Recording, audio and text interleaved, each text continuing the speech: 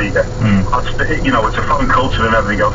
I can see him, I can see him starting for the first couple of games. I think we're, we're going to start with Lallana, Coutinho. Uh, we'll obviously have Hyde there because Hyde's been on fire in pre-season. Uh, but, but offensively, Liverpool are going to be very, very rapid now. Clyne is an absolute, he, he's like a ground. He, he's so fast. And this white picture sign as well, Joe Gomez. I think he's going to be an hell. absolute belter. Ready for the first thing now? Well, let's put it this way. I've watched a lad how he plays with the ball. Nothing seems to phase him. I don't take the standard of opposition in pre-season.